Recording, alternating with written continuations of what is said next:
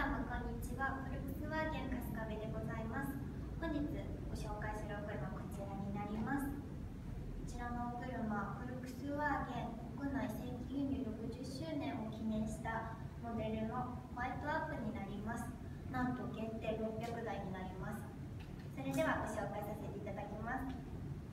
それではエクステリアからご紹介させていただきます。えーまずホワイトアップの、えー限定装備なんですが、えークロームパッケージ、えーフォグランプベゼルと、えーあとですね、クロームメッキのドアミラーカバー、あ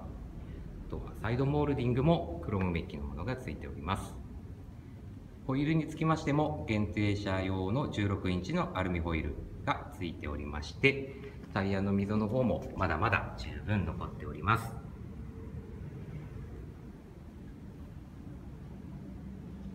こちらにホワイトとちょっとこう可愛い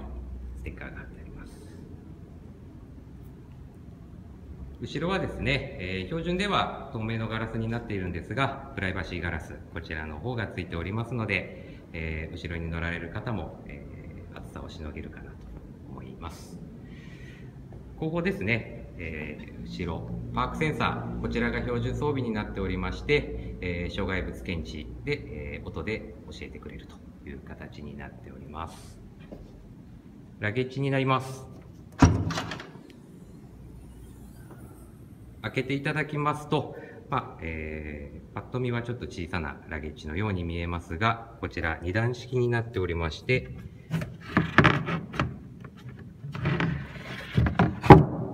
こちらを下ろしていただくとかなり深さがありますので、えー荷物の方も十分搭載できるかなと思います。続きまして、インテリアのご案内をさせていただきます。インテリアですが、白と黒を基調とした非常にシンプルなデザインとなっております。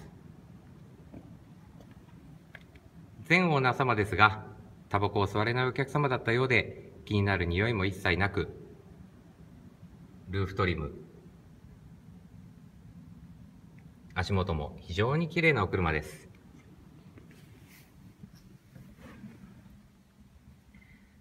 装備ですが、純正のナビゲーション。足元には ETC もついております。こちらのお車、運転席、助手席にはシートヒーターがついておりますので、冬場は非常に重宝するかと思います。また、純正オプションのリバースチャイム、こちらがついておりますので、バックギアに入れたとき、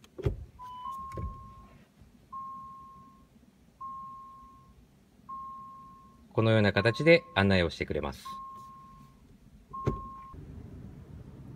後部座席の状態です。後部座席も非常に綺麗な状態です。